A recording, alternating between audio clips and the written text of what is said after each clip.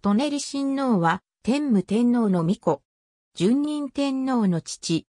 舎人巫女とも記される。天武天皇の小王子の中で最後まで生き残り、奈良時代初期に長屋王と共に後進勢力として牽制を振るう。日本書紀の編集も総裁した。子孫の清原氏は、高市巫女末の高品氏と共に、天武系公営士族として長く血脈が続いた。天武天皇5年、天武天皇の巫女として誕生。母は、新田部王女。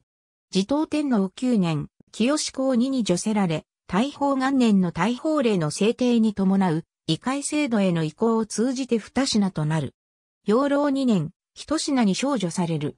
翌養老3年には、元正天皇より、異母帝の二品、新田部親王と共に交代し、首巫女の補佐を命じられ、また、皇室の年長者として報奨されそれぞれウドネリ、オートネリ、英氏、不幸を与えられた。養老4年5月に自らが編集を総裁した日本書紀を創上する。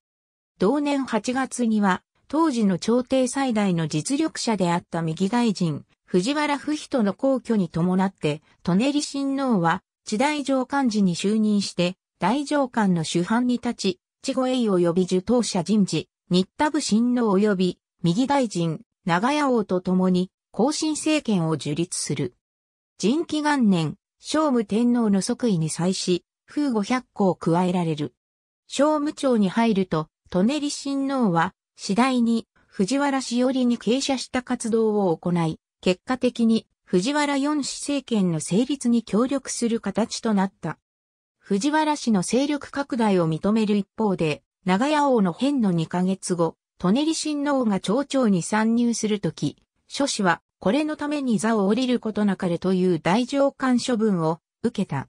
この処遇については、長屋王の変の連座、藤原氏による長屋王に続く、後進勢力の抑制策など、長屋王の変の影響が考えられる。天平7年9月に共に、後進政治を支えた新田部親王が講じるが、舎人親王はその邸宅に使わされて、天皇の弔意を伝える。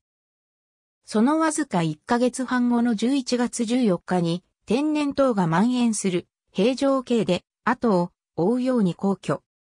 去年60。最終官位は、地大上官寺人品。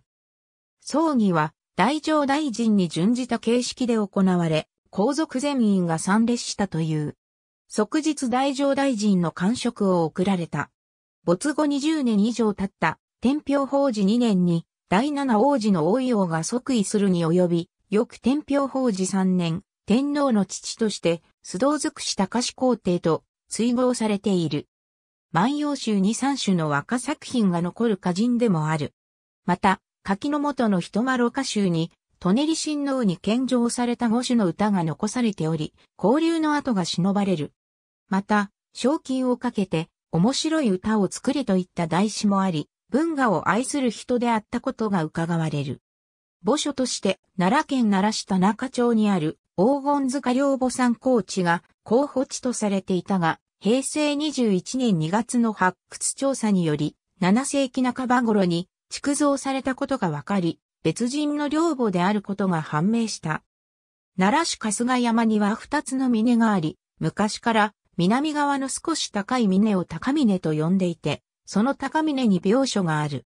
六国史による。ありがとうございます。